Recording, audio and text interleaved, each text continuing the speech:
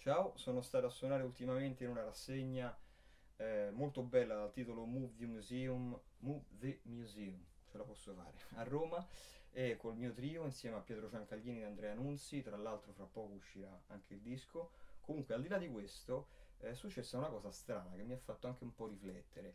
Mentre montavo le ance, cercavo altre cose, il, um, il collarino nella custodia, eccetera, è scappata fuori questa fascetta di pelle della Van Doren che non usavo da non so quanti anni.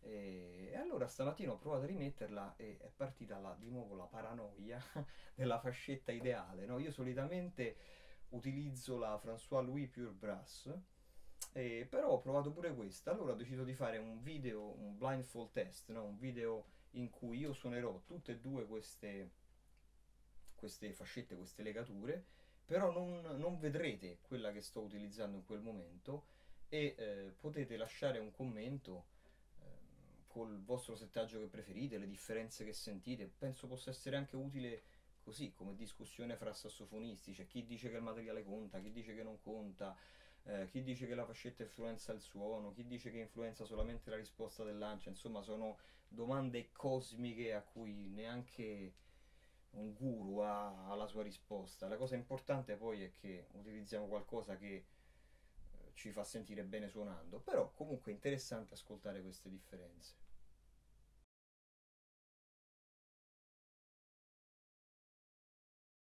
Farò due clip, la prima in cui suonerò una scala di Do diminuito dal Do grave al Do sovracuto, eh, chiaro che esistono note eh, superiori e anche note inferiori, però grosso modo abbracciamo tutto quasi tutto il range dello strumento e quindi sentiremo le, le due fascette nella stessa situazione musicale. Nella seconda invece suonerò uno standard, suonerò un po' quello che voglio, eh, così sentiremo i, i, le due fascette invece in un contesto così più, più generico.